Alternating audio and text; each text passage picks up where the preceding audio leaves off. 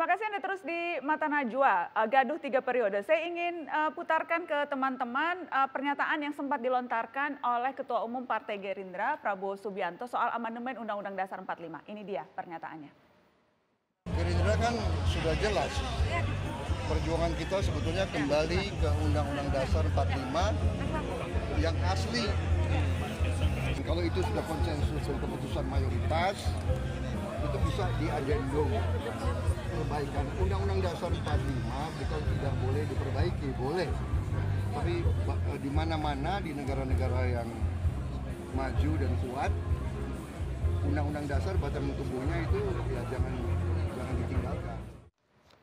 Ya, uh, jelas uh, kita dengarkan itu pidato presiden uh, Ketua Umum Partai Gerindra. saya hampir mau bilang ya, presiden. Ya, ya, ya. Sudah tertawa-tawa di tamu saya ini sampai sini.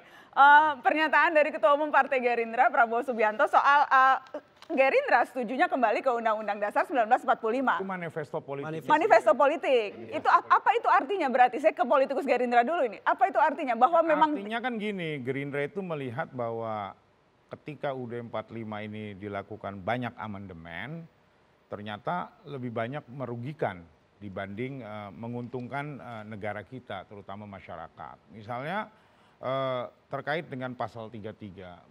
Ketika itu di amandemen, liberalisasinya terjadi di Indonesia. Kan?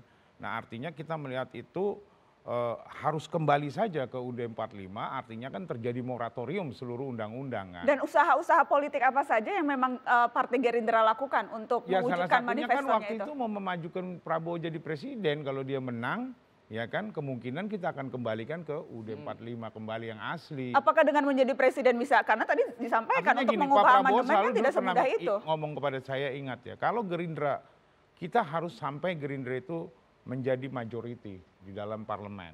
Nah kalau kita sudah majority maka kita bisa mengembalikan UUD 45 ke ada yang aslinya. Oke, saya ingin ke Mas Haris Azhar. Mas Haris Azhar ini uh, wacana, keinginan, manifesto untuk kembali ke Undang-Undang Dasar 45 itu mengkhawatirkan atau atau biasa saja menurut Anda?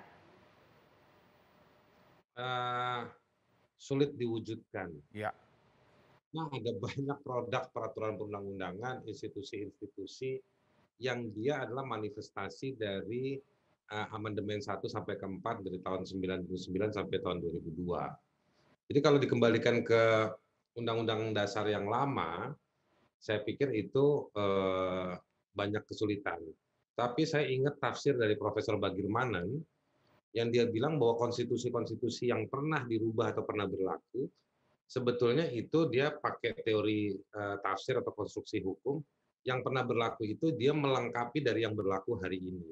Yang tidak cocok memang tidak bisa diberlakukan. Kayak misalnya soal ke eh, masa jabatan presiden apa berapa kali presiden bisa menjabat. Tetapi untuk hal-hal yang lain, dia bisa dijadikan uh, referensi untuk tafsir, tafsir historis dan lain-lain. Ya. Nah jadi nggak uh, usah panik juga buat uh, Arief Puyono kalau misalnya rindu dengan Undang-Undang 45 yang dulu, sebagian itu dia melengkapi kekayaan dari historisitas uh, konstitusi di Indonesia. Tapi kalau memang mau digolkan, saya pikir itu bukan uh, sesuatu yang menarik buat politik hari ini uh, dengan konstruksi politik yang hari ini ada. Kalau misalnya mau amandemen itu lebih menjual, bisa lumayan lah bisa dibikinin kaosnya. Tapi kalau misalnya mau kembali full ke yang lama, saya pikir itu uh, banyak yang banyak yang menolak nantinya. Saya lihat pasarnya seperti itu aja. Oke, dan dan wacana yang berkembang sekarang menurut Anda itu memang wacana uh, yang uh, akan sulit sekali diwujudkan kalau melihat komposisi politik saat ini? Nah, meskipun saya di Jakarta suka lihat ada yang ada yang suka bikin grafiti pilok-pilok kembali ke UUD, UUD 45. Itu tapi sebetulnya saya menangkapnya sebagai simbol ekspresi atau visual dari keresahan masyarakat di berbagai pihak termasuk para politisi tentang uh, makin terbukanya pasar. Tapi makin keterbukaan pasar ini kan juga uh, aneh ya. Di satu sisi kita punya undang-undang cipta kerja yang sangat welcome dengan investasi dan itu dijaga betul oleh koalisi partai dan pemerintah dan DPR juga. Nah kalau misalnya mau merubah Undang-Undang Dasar 45 balik ke yang dulu, itu harus lewat harus lewat para para politisi yang ada di MPR dan di pemerintah juga mungkin, terutama yang ada di MPR. Oke. Jadi berbenturan banyak kontradiksi-kontradiksinya kalau kita mau mensandingkan sejumlah isu besar yang bergulir dari sejumlah waktu belakangan ini dan juga agenda ke depan. Nah, ini Oke. mungkin visual-visual keresahan saja terhadap proses globalisasi, proses liberalisasi atau neoliberalisasi yang terjadi hari ini. Nah, saya mau begini, ini mungkin waktunya makin terbatas, jadi saya mau bilang, dari semua perdebatan ini, sebetulnya jangan lupa melihat pada orang, kualitas, dan juga agenda kerja. Sedikit banyak dibahas amandemen dan juga GBHN. Saya mau mengingatkan, di sini ada Bung Fajrul juga, pasti kan bisa cerita juga sedikit soal RPJMN.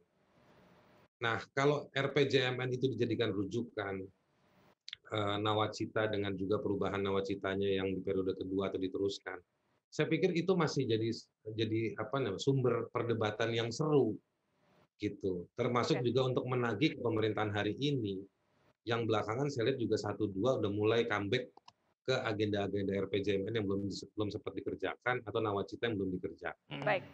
Nah, itu aja dulu kita lihat sebagai baseline untuk mengukur eh, ke depan seperti apa. Kira-kira RPG. Oke, jadi jadi jadi eh, rencana pembangunan jangka menengah yang yang seharusnya itu menjadi fokus begitu ya Mas Haris Hasan? itu diukur. Itu undang-undang itu undang-undang basisnya gitu.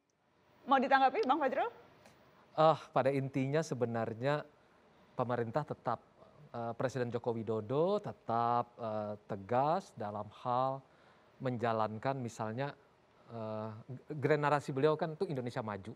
Kemudian Indonesia sentris diturunkan karena ingin me- memeratakan seluruh Indonesia, terus ada panca kerja, terus ada rencana pembangunan jangka menengah, semuanya ditaati sampai hari ini. Memang agak terbatas nih gara-gara eh, COVID-19 tetapi insya Allah dengan adanya vaksinasi ini dan upaya apa serius untuk menangani COVID-19 kita akan bisa menuntut nanti tetap itu dijalankan. Bahkan Presiden eh, sudah juga mengatakan 2021 kita akan pulih ekonomi plus minus 5 persen dan juga eh, rancangan undang-undang IKN juga sudah eh, masuk di prolegnas dan kita akan segera eh, masuk ke apa ibu kota baru di Kalimantan Timur di Penajam Kalimantan Timur. Jadi semua program-program sebelumnya akan diteruskan eh, lebih ke, ke- apa lebih cepat lagi pasca apa eh, penanganan COVID-19 ini bisa dilakukan. Dan tidak perlu tiga periode untuk itu. Tidak perlu. Tidak perlu Cukup. tiga periode. Dan kami sudah kami eh, sekali lagi di Nana sebagai apa ini eksponen ini ya gerakan reformasi akan terus terbayang-bayang bahwa apa yang terjadi sebelumnya sudah cukup. Mari kita menatap ke masa depan dengan Oh, jadi yang, undang-undang jadi yang Mas ada. Arief Puyono dan Mas Kodari ini orang-orang masa lalu ya? Oh enggak lah kalau Masa saya depan. Masa lalu. depan. Masa lalu Beliau kayaknya. yang orang masa lalu, Nah, terjebak oleh masa lalu. Kalau Bang Fajrul itu masa masa, lalu. lalu, ketakutan, ya kan kalau Ya. lebih dari dua periode bisa otoriter, bisa korupsi. Oke. Enggak, gitu loh. Ini kan tidak menutup apa saya kan tidak mengatakan kita amandemen presiden seumur hidup kan enggak, hanya menambah satu periode. Korupsi dua periode banyak yang korupsi. Saya pikir enough Utang is enough. tambah gitu loh. Cukup lah. Ya itu kan? udah masa lalu, mari kita menatap bersama-sama ke masa depan Loh, justru saya konstitusi ingin yang menatap baru. masa depan, dan- ya kan ingin menatap Oke. masa depan yang cerah karena kejadian hari ini memaksa kita bahwa harus ada amandemen 245 untuk penambahan periode masa jabatan presiden. Kita akan bahas lagi setelah pariwara masih ada waktu tetap di sini di Mata Najwa.